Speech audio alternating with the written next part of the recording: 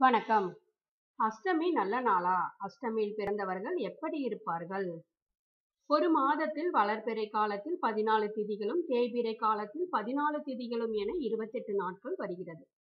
மீதம் இரண்டு தினங்களில் ஒன்று அமாவாசை மற்றொன்று பௌர்ணமி என மொத்தம் முப்பது நாட்கள் என ஒரு மாதம் பூர்த்தியடைகிறது.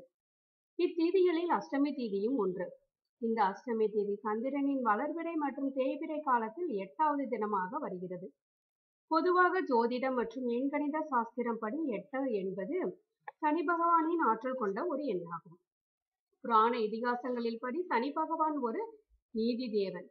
அதனால் எவர் ஒருவர் சிறிய அளவு தீவினைகளை புரிந்தாலும் அதற்கான தண்டனைகளை உடனே வழங்கி நீதியை நிலைநாட்டுபவர்.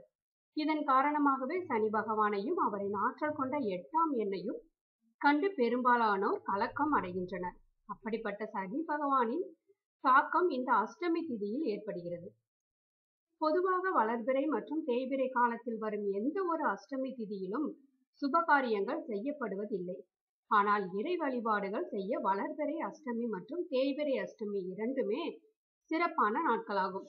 வளர்பிறை அஷ்டமியில் செல்வம் பெருக திருமாலின் இதயத்தில் வீற்றிருப்பவளான லட்சுமியையும் தேய்பிறை அஷ்டமியில் சனி பகவானின் தோஷத்தை நீக்க பைரவர் வழிபாடும் செய்யலாம்.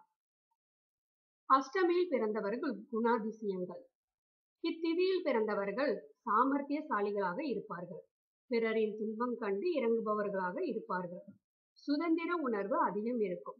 நல்ல ஆரோக்கியமான உடல் மற்றும் மனதினை பெற்றிருப்பார்கள். அஷ்டமி திதியில் குழந்தை பிறப்பது நல்லதா? ஆவணி மாத அஷ்டமி திதியில்தான் கிருஷ்ண பரமாத்மா அவதாரித்தார். அப்படி அவதரித்த கண்ணன் தன் சொந்த தாய்மாமனான கம்சனை வதம் புரிந்தார்.